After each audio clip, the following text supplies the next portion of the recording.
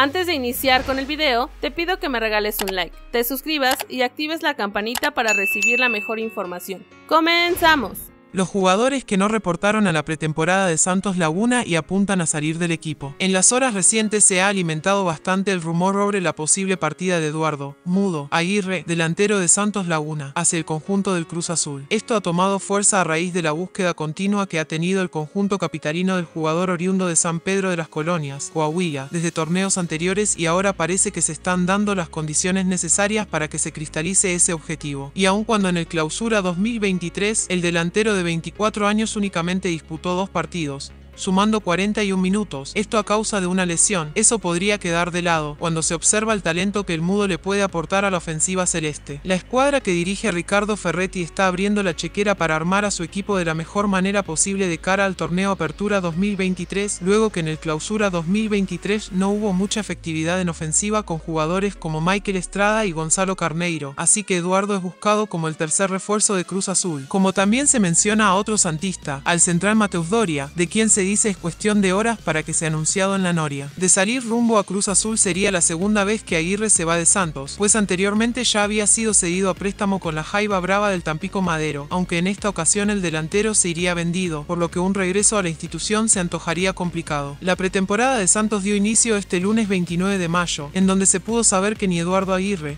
ni Mateus Doria reportaron, aunque de parte del club no se informó si estos se encuentran negociando su pase a algún otro equipo. De momento se desconoce quién podría ser el jugador que reemplace a Doria en Santos, por lo que se espera que la directiva ya busque el futbolista que podría ocupar el lugar del brasileño. Doria llegó a la Liga MX en el año 2018 para cubrir una de las bajas que dejaron las salidas de Carlos Izquierdos y Néstor Araujo, quienes se fueron a Boca Juniors de Argentina y Celta de Vigo de España. Por otro lado, anuncian la salida de tres jugadoras y el entrenador de Santos Femenil. Ayer por la tarde, Club Santos Laguna Femenil informó la destitución de Jorge Campos como director técnico de las guerreras, además de las bajas de jugadoras clave para el equipo, como Paola Calderón, Sofía Varela y la capitana Cintia Peraza. El lagunero dirigió durante cinco torneos a las albiverdes, en los que obtuvo 28 triunfos, 17 empates y 41 derrotas, donde destaca la última del torneo regular ante Tigres, con un resultado de 9 a 0 en favor de las Amazonas. De la mano de Campos Baladés, las albiverdes vivieron su primera liguilla en la historia en el Apertura 2021, donde cayeron en cuartos de final frente a las rojinegras del Atlas. El club también informó que el jugador continuará como parte de la estructura de las fuerzas básicas y que en los próximos días anunciarán a la persona que tome las riendas del equipo. Junto con Jorge Campos, el club también anunció las bajas de tres jugadoras importantes dentro del esquema santista, como lo son la arquera Paola Calderón, la delantera costarricense Sofía Varela y la capitana del equipo Cintia Peraza. En el caso de la Mazatleca, desde el año pasado venía manejándose su salida de la escuadra verde y blanca, sonando para reforzar equipos como América y Chivas. Sin embargo, Peraza continuó durante una temporada más con las guerreras manejando el medio campo del equipo lagunero. En el caso de la portera Paola Calderón, la chihuahuense recayó en la institución santista para la apertura 2018, disputando 37 encuentros bajo los tres palos con la casaca albiverde y siendo considerada en esta última temporada